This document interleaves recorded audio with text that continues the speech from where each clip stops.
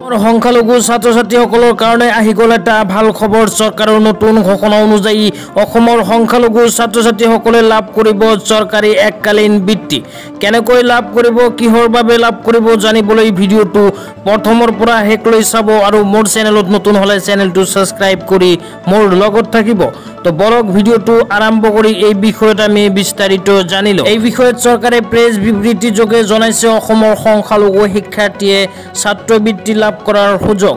ৰাজ্যৰ সংখ্যালঘু শিক্ষাৰ্থীয়ে কিন্তু লাভ তাৰপিছত কোৱা হৈছে অসম চৰকাৰৰ সংখ্যালঘু উন্নয়ন বোৰ্ডে প্ৰি মেট্ৰিক শিক্ষাৰ্থীৰ পৰা অনলাইন আবেদন বিচাৰিছে। দেশৰ সংখ্যালঘু জনগোষ্ঠী যেনে মুছলমান খ্ৰীষ্টিয়ান বৌদ্ধ জৈন শিখ আৰু ফাৰ্চী এই ছয় ধৰ্মৰ শিক্ষাৰ্থীয়ে যিসকল দৰিদ্ৰ আৰু স্কুল পৰ্যায়ত অধ্যয়নৰত কৰা ছাত্ৰ ছাত্ৰীসকলৰ কাৰণে আহিছে সুযোগ।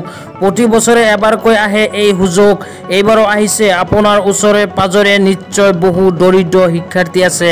সেইসকলক জনাই দিয়ক খবৰটো। অনলাইন আবেদনৰ শেষ তাৰিখ কিন্তু ত্ৰিছ ছেপ্টেম্বৰ। ত্ৰিছ ছেপ্টেম্বৰৰ পূৰ্বেই কিন্তু শিক্ষাৰ্থীসকলে আবেদন কৰিব লাগিব। W W dot scholarship dot G O' V dot I এনত গৈ প্ৰপত্ৰ পূৰণ কৰিব লাগিব একাউণ্টৰ তথ্যসমূহ পূৰণ কৰিব লাগিব। সংখ্যালঘু ছাত্ৰ ছাত্ৰীসকলে ছেপ্টেম্বৰ মাহৰ ত্ৰিছ তাৰিখৰ পূৰ্বে কৰিব লাগিব আবেদন। আবেদন শেষ হোৱাৰ পিছত ষোল্ল অক্টোবৰত কিন্তু স্কুল পৰ্যায়ত ভেৰিফিকেশ্যন হ'ব।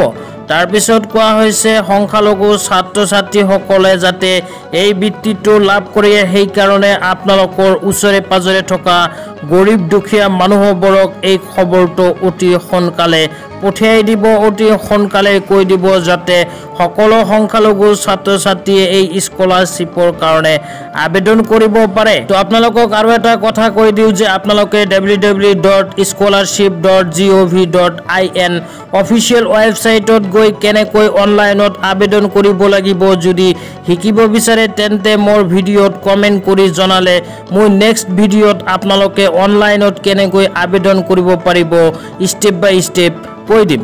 তো আজি ইমানেই।